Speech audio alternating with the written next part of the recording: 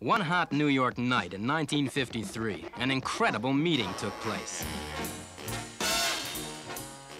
She was a famous actress. He was a great thinker.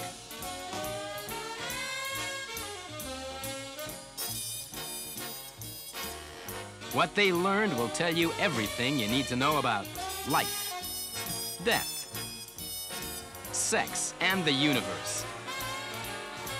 Relatively speaking.